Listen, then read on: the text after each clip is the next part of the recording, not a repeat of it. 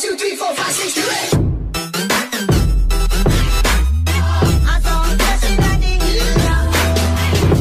दोस्तों, नमस्कार। मैं राजेंद्र प्रसाद साहू, आपका अपने इस चैनल में स्वागत करता हूँ। आज के इस वीडियो में मैं बताने जा रहा हूँ आमलकी रसायन के बारे में, जो बुढ़ापा को सौ कोस दूर भगा देता है। इस, मैं इसके बारे में बताऊँ, इससे पहले आपसे रिक्वेस्ट करना चाहूँगा कि यदि आपने मेरे इस चैनल को सब्सक्राइब नहीं किया है तो प्लीज़ सब्सक्राइब कर लें। दूसरी बात, यदि मेरी बताई हुई कोई औषधि या कोई जड़ी आपको कहीं से उपलब्ध ना हो पाती हो तो आप मेरे डिस्क्रिप्शन में जाकर वहाँ से मेरा कॉन्टैक्ट नंबर लेकर आप मुझसे कांटेक्ट कर सकते हैं, अपनी समस्याओं का समाधान पा सकते हैं। यदि कुछ चीज़ आपके यहाँ अवेलेबल ना हो तो मैं उसको यहाँ से भेजवाने की भी प्रबंध कर सकता हूँ। तो मैं आपको बता रहा था आमलकी रसायन के बारे में। आमलकी रसायन नामक योग का उल्लेख रस तंत्र सार व सिद्ध प्रयोग संग्रह द्वितीय खंड में मिलता है, जो अष्टांग हृदय एवं चरक संहिता के आधार पर प्रस्तुत किया गया है। इस योग का मुख्य घटक द्रव्य आंवला है। इसलिए इस योग का नाम आमलकी रसायन रखा गया है। आयुर्वेद ने आंवले के गुणों की बहुत प्रशंसा की है और गुणों के आधार पर इसे वयस्या, आमलकी वृष्या शिव, अमृता अमृत फल जैसे गुणवाचक नामों से संबोधित किया है। और इसे रसायन माना है। रसायन गुण के कारण ही त्रिफला के तीन नामों में इसकी गणना की गई है।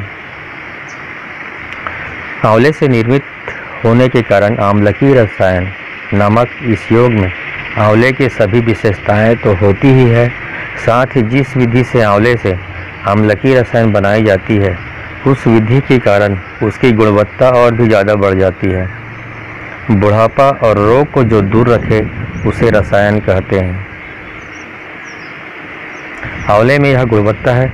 अतः आंवले से तैयार किए गए इस योग को आमलकी रसायन कहा जाता है। यह योग सरल और सस्ता होते हुए भी दिव्य फल देने वाला, सौम्य, शीतवीर्य और स्वास्थ्य तथा व आयु की रक्षा करके वृद्धि करने वाला होता है। गरीब और अमीर सभी के लिए इसका सेवन करना संभव है। तो इसका एक नुस्खा मैं आपको बताता हूँ।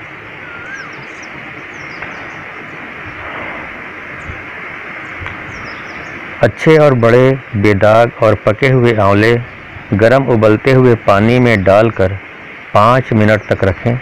नरम होने पर इसकी गुठली निकाल दें और आंवले को धूप में खूब अच्छी तरह सुखाकर कूट पीस कर महीन चूर्ण कर लें। अब हरे आंवलों का रस निकालकर इस रस में यह चूर्ण डालकर 21 दिन तक खरल में घुटाई करें। बाईसवें दिन इसे लौह पात्र या मर्तबान में भर कर रख लें। आंवले उबालने से लेकर खरल करने तक, लोहे की करछुली कड़ाही या किसी भी लौह पात्र का प्रयोग या स्पर्श न करें। वरना रसायन का रंग काला पड़ जाएगा। यही योग आमलकी रसायन के नाम से विभिन्न आयुर्वेदिक निर्माताओं द्वारा निर्मित बना, बनाया मिलता है। जो घर पर न बना सकें, वे बाज़ार से खरीद सकते हैं। इसकी सेवन विधि क्या है? दो ग्राम मात्रा में प्रतिदिन सुबह खाली पेट शहद में मिलाकर चाटें। दूध के साथ भी शहद मिलाकर सेवन कर सकते हैं। पर यह ख्याल रखें कि दूध बिल्कुल ठंडा ही हो जाए, क्योंकि शहद गर्म दूध में सेवन नहीं किया जाता। कम से कम 60 दिन तक लगातार सेवन करें और उसका फ़ायदा देखें। इसको आजमाएँ और फ़ायदा उठाएँ। धन्यवाद।